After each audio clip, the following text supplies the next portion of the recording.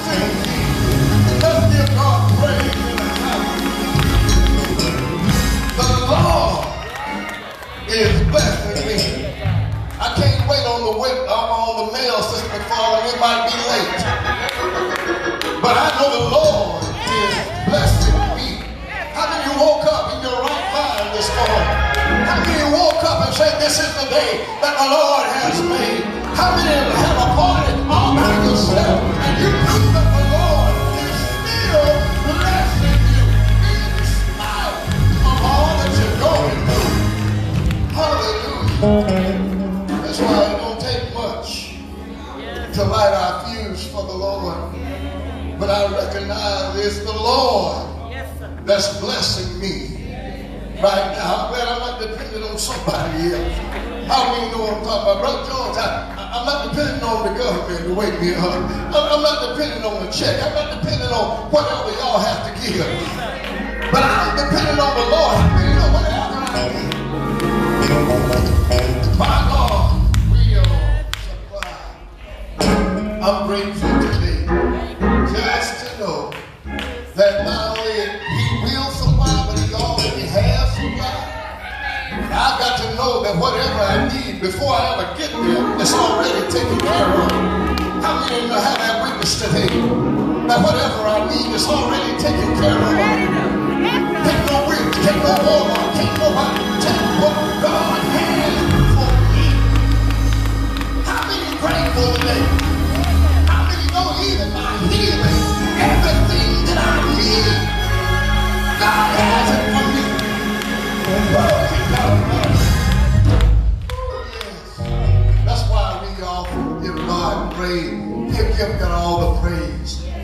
Because it is in Him that we live and move and have our being. We greet you the name that is above every name. That is the name of Jesus the Christ.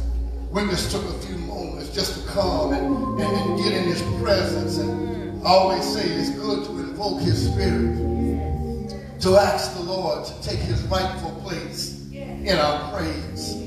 I didn't come here to praise man. I didn't come here to give man glory. But I come to offer a praise unto the Lord brought me through another week's journey. How many just thank God for just one more week? One more day that He's allowed us to come together. In that we give Him glory. We do thank Him to all the officials, to all, to all of you, and truly to, we do thank God for all the things that He's already done. Somebody's looking for a, a, a blessing, but you ought to know that you're already blessed. You don't have to look for a blessing. You are a blessing.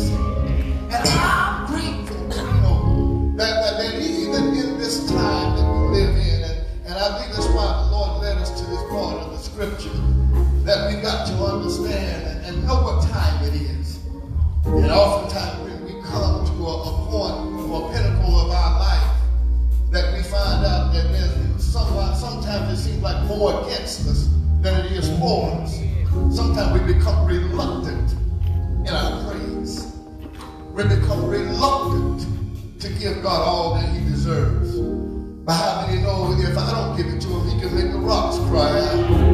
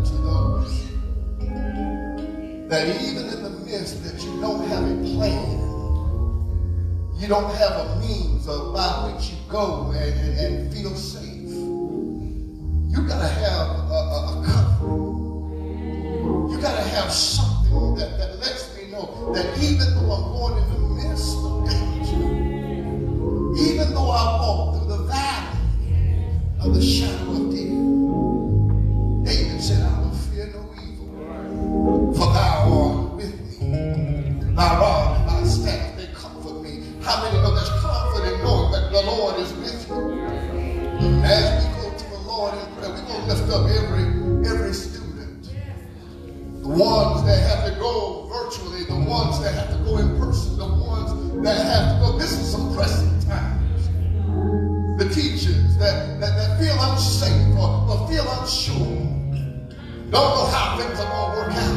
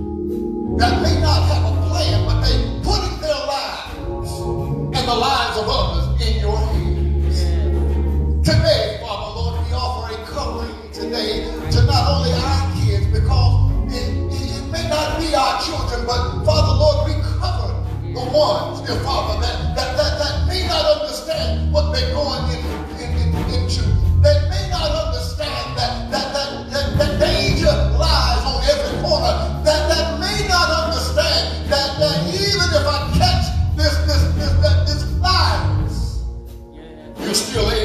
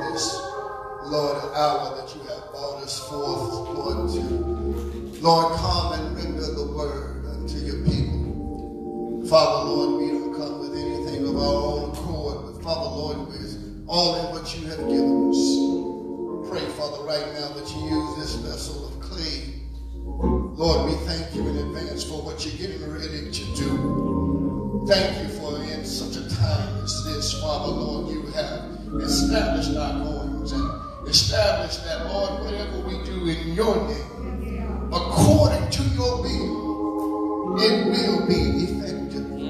We do thank you in advance for what you're going to do, Father, not only here, but in our Facebook ministry. We ask that you continue to bless us Christ Jesus' name we pray. Amen, amen. and amen. Talk about redeeming the time. The hymn writer once wrote, Time is filled with swift transition. Yeah. Not on earth unmoved can stand. You must build your hopes on things eternal. Hold to God's unchanging hand. This statement and the following verses of the psalm pointed out the need to redeem the times that we live in. The essence of the statement does not mean that time can be brought or paid for. But while it has nothing to do with the quantity of time, it has everything to do with the quality and the making the most of the opportunity and turning it into the best advantage since none of it can be recalled if missed. Mm-hmm. That's a whole mouthful right there, Brother Little. But I, I say it that to say this whatever is past you, you can't go get it back. Mm-hmm. Whatever is lost, whatever is back there, there, there, there are many that try to, to go back and fix or right some wrongs of your past. But whatever is in your past, that's what it is. Yes. yes. You will spend a lifetime trying to figure out uh, how to undo some stuff that's been done. I like what the Apostle Paul said. He told us in the book of Philippians, forgetting those things which are behind. I press Yes. toward the mark of the high calling of God in Christ Jesus our Lord. Mm-hmm. So when I, I look at it, I, I've got to understand that it's already tough enough for me to press forward. I got to let go of my past and look forward to what's going on in my future. Yes. How many can tell yourself, self, the future looks a whole lot brighter than my past? Yes. How many can look back and understand there's some stuff back there I'd like to forget about? But every now and then, the enemy will come and try to remind me Yes. of how much of a failure that I've been. But I've got to let him know that even in the midst of all my past, I thank God for the blood. Yes. I thank him that the blood covers a multitude of sin. So, in my understanding, when the, the Apostle Paul was talking about forgetting those things which are behind, doesn't mean the enemy won't bring it back to your mind every now and then of what you used to do, of where you used to go, of how things used to be in your life. You've got to understand I'm better than that. Yes. How many look at yourself and say, I thank God that I can say today, I'm better than that. Amen. I'm not going to let my past ruin what my future is going to be like. Young people, don't, don't, don't, don't, don't get me wrong here. You got, you got times you're going to make some mistakes. Nobody's perfect. Nobody's perfect. And I often say that if you find a perfect place, you better get away from it because you end up messing it up. Somewhere along the line, we're imperfect people Yes. going through an imperfect world, trusting a perfect God. Yeah. Many thank God today that I may not be perfect, but I trust someone that He. He's perfect in all His ways. So I'm grateful to understand that the Lord gives me every moment, and I've got to know I've got to make the best of my, my time. I, I can't get to a point of trying to, to recoup what I've lost. But if I find myself doing it, I got to tell myself, Sam, forget about what's back there and press on. Yes. The Apostle Paul, the writer of this epistle, writes to the church in Ephesus with the general theme of Christian unity.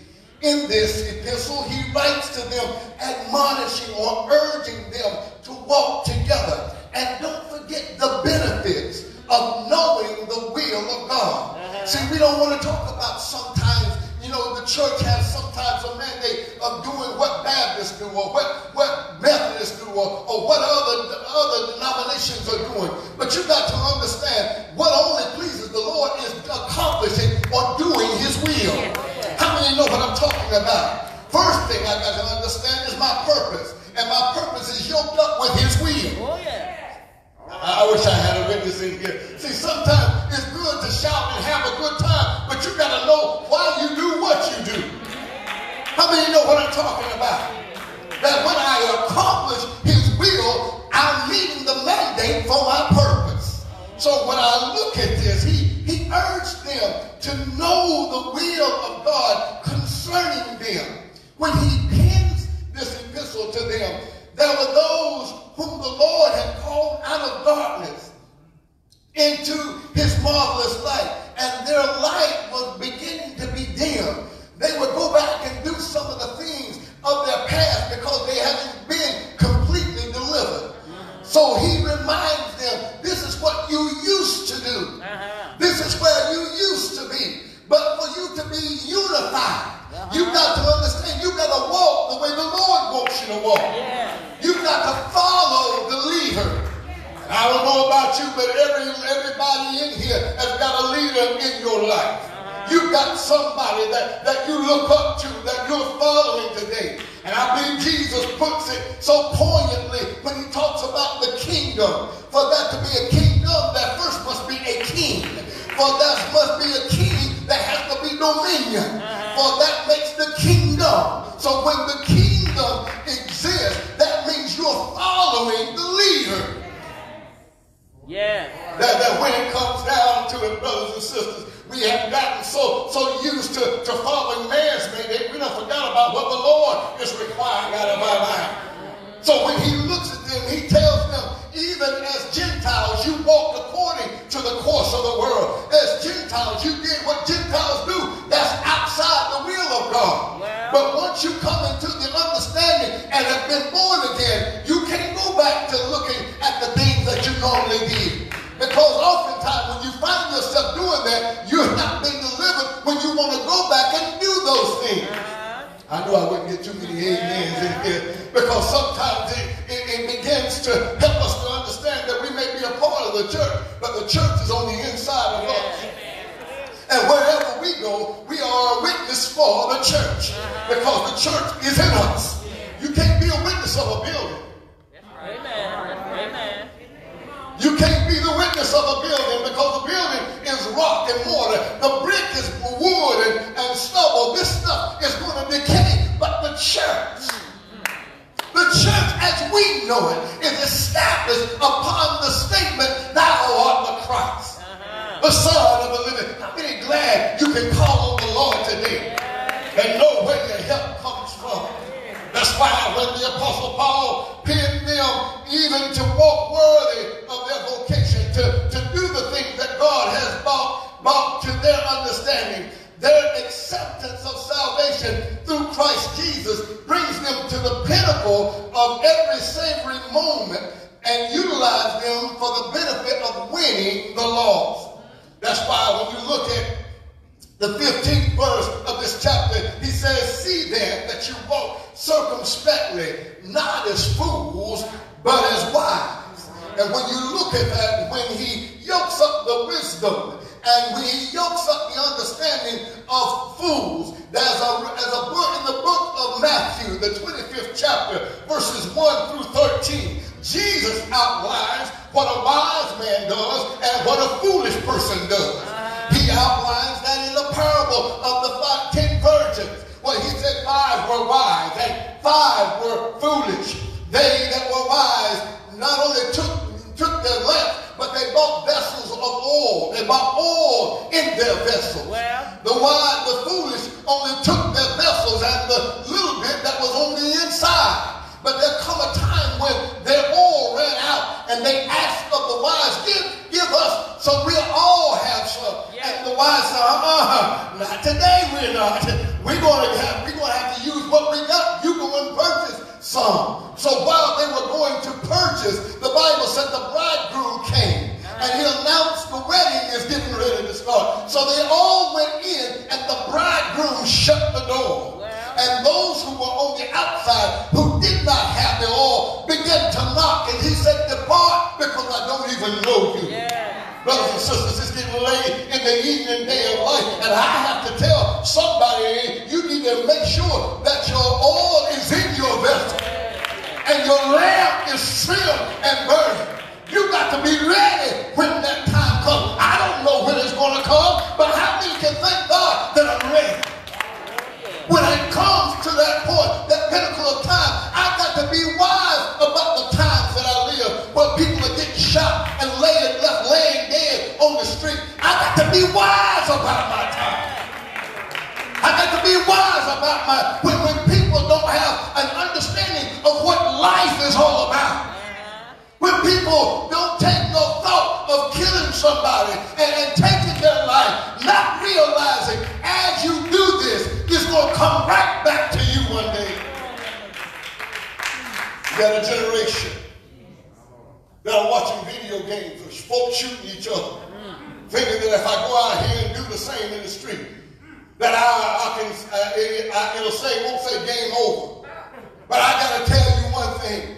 Just like Hebrews 9 and 27 says, as it is important unto man once to die. And after this, the judgment. Uh-huh. You've got a judgment coming after this. So you've got to be ready for that time. So when we look at the, the understanding here, he said, don't, don't, don't, under, don't get to the point of being like a fool. You got to walk circumspectly. That means you got to walk upright and redeem the time because the days are evil. The times that we live in is not to, to the point, the change of time that 2020 is evil. It's the people that live in this time. I wish I had a witness today. And you see, Brother George, it wasn't to the point he was talking to folk on the street corner. He was talking to the folk in the church. And sometimes it gets dangerous on the inside of the congregation. Because folk don't have an understanding of what God mandated for their life. That means they're going to take God's will out of their out of understanding and walk in ignorance. Yeah. When you're alone and understand the will of God, you got to understand this is not my mission. This is the Lord's mission. Yeah. And whatever he deemed necessary, it will come my way. That's why when he said redeem the time, there are things we've got to do to redeem the time and understand what the will of the Lord is. He said, don't be unwise, but understanding what the Lord, will of the Lord is, and be not drunk wherein is excess. But be filled with the Spirit. We don't talk about being filled with the Spirit no more. Sometimes we'll bypass that and folks say, I got a feeling everything is going to be all right. Well, you, what is that feeling? You got to know for yourself it's the Holy Spirit that let me know everything is going to work out all right. Some people have known to the point of understanding that I'm going on a hunt. I'm going on the notion. Something told me. Well, I want to know who told me everything is going to be all right.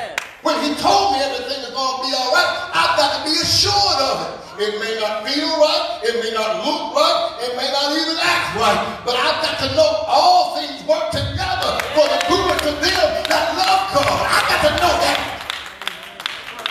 I got to know that personally. I can't wait for somebody to tell me. I got to know that personally. Oh. That means I got to know. Don't, don't get to the point. And I'm so glad the Apostle Paul used the point of drinking. Don't be filled with wine wherein is it sits. Don't you get to the point? and what he allows you to understand, that there is spiritual warfare. That oftentimes when you drink, you begin to enhance a spirit that controls your whole body. Huh? You begin to take in some things that make you act like you normally don't act. Wherein is excess. But he said, be filled with the Spirit. That means when the Holy Spirit takes his accord, it don't mean that you're turning over benches, ripping up pews. It don't mean that you're dancing all the time. But being filled with the Spirit means allowing the Holy Spirit to govern you. Being filled with the Spirit. How many times do I need a feeling? Every time I'm running low, I need a feeling. Uh-huh. How many times do you fill your car? Every time you run low. Or somebody will be standing on the side of the street. But how many know, even as a Christian, I see folks that sitting on the sidelines all the time. Talking about, it, I'm waiting for the Spirit to move. Honey, you got the same Spirit I got. If he's moving in you, you ought to God be moving in me. That's why we got to understand and understand what the feeling of the Spirit means. It means to not allow myself to be filled with a spirit, but filled with the Holy Spirit. Yes. That means I've got to learn who's controlling me, yes. who's leading me in all aspects of life. Amen. So for me to understand or redeem the time, I got to learn to speak to myself and talk with, to myself in psalms and hymns and spiritual songs, singing and making melody in your heart. How many had to understand sometimes when I'm going through? I've learned that even in my praise is a weapon against what the enemy is trying to do in my life. I've learned to give God a praise when things are not going well. Sister Horace, I can't wait for the organ to play. Sometimes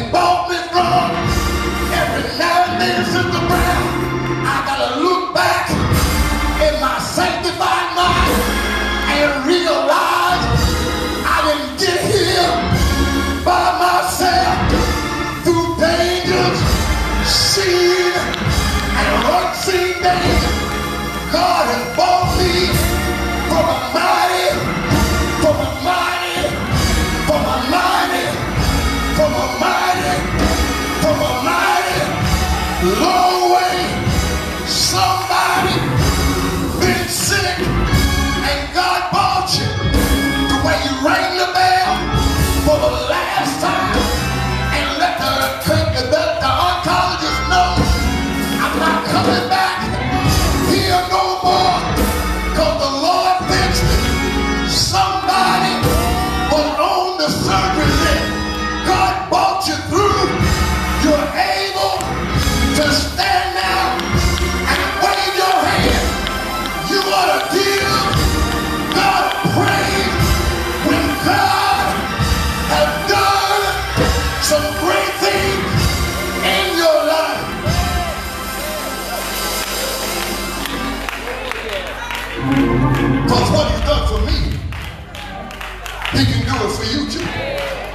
Huh? I can't be a hater in this time.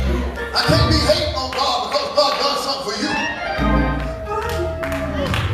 I can't be a hater. Oh, they think they suffer. Yeah, I'm suffering. God was good enough to me. He gave me some favor. How many grateful today? The doctors didn't do it.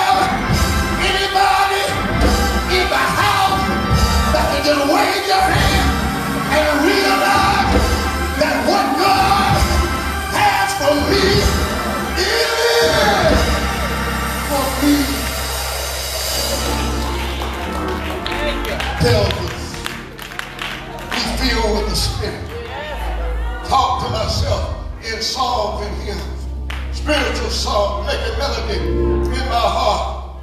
Not only that, but give thanks. Giving thanks for this is the will of God in Christ Jesus. When I look at all the things, not only that, I've got to learn to submit. Submitting is a, is a dangerous word in our time. It means to humble yourself. It means to humble and come under subjection.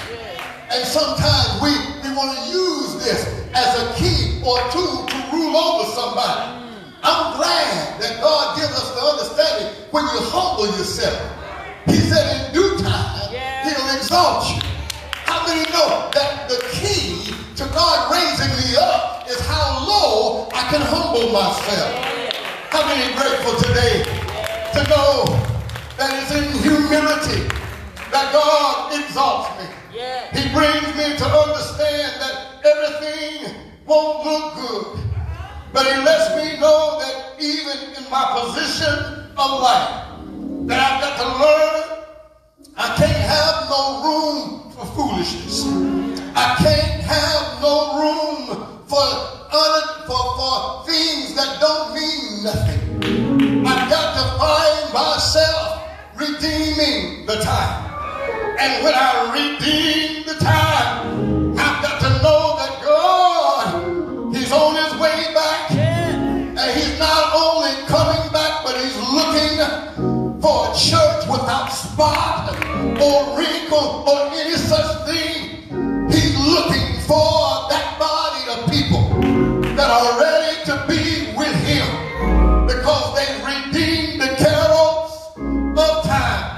and understand that time is winding up. Mo McFarland, they used to tell me in a little old song, it's getting late in the evening day of life, and the sun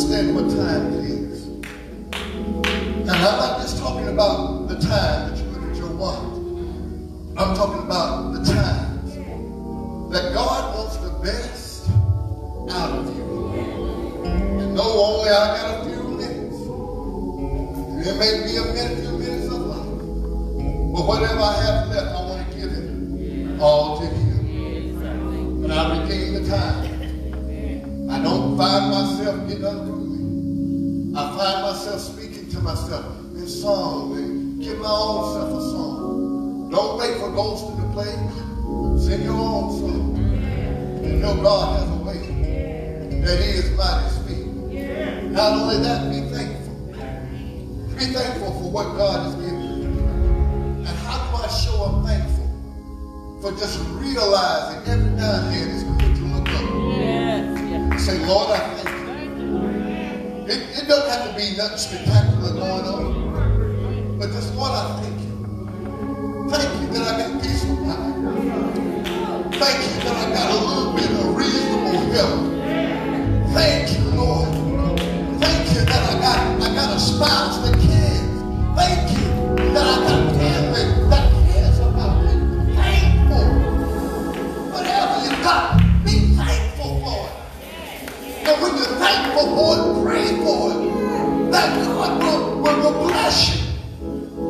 trust you with that little bit, what makes you think he gonna give you more?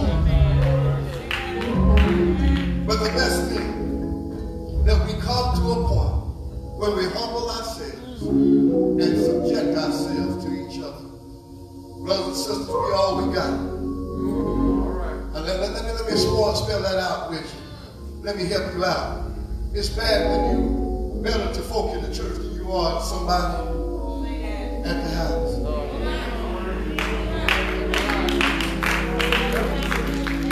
Or vice versa, you better at the house than you are before within your own house.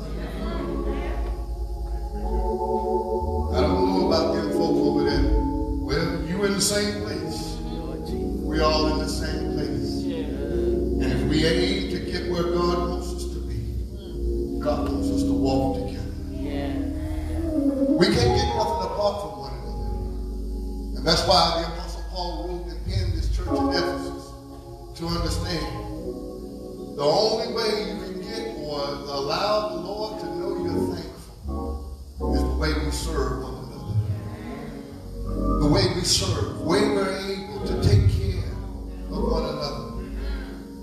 is our testimony to God.